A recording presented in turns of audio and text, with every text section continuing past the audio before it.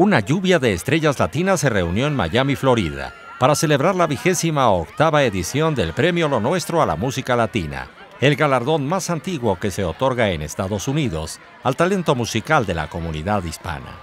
La ceremonia de premiación en la Arena American Airlines contó con un desfile de estrellas de la música y la televisión que lucieron elegantes vestidos de diseñador en una noche fresca. El cantante colombiano Carlos Vives y la mexicana Paquita la del Barrio fueron las figuras centrales de la noche al recibir el homenaje a la excelencia por sus trayectorias musicales. Con información e imágenes de Pablo Tonini, corresponsal en Miami. Notimex.